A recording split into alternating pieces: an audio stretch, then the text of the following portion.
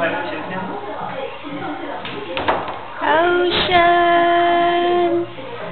ocean, ocean boy. Oh oh.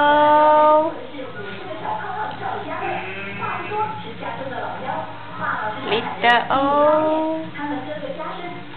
Ocean.